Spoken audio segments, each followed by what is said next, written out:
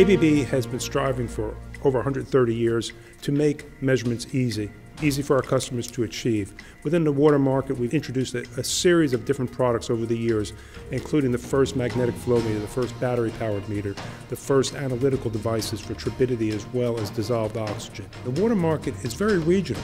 The concerns in the far west, the southeast, the northeast are all different.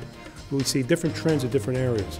The three largest or most active trends right now is non-revenue water. Simply put, it's how much revenue are you losing through leakage, misbilling, uh, unauthorized, and theft within the system itself. Next biggest trend is quality. There's nothing worse than poisoning our population. The responsibility of the water companies is to give us potable water that we can drink, that we feel comfortable with every day.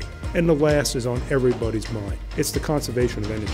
And we have several plans, schemes, if you will, to reduce energy costs within both a water plant and a wastewater plant.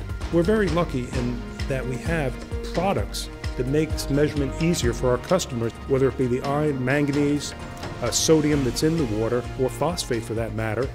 Uh, we can give our customer instantaneous measurements of the quality of the water, feeding it back to the system.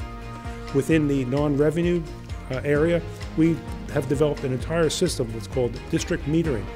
District metering helps the customer locate leaks and keep the net water network in check, no matter what time, day, or night it is. In fact, we have software that can predict leaks, which is a jump forward in the industry.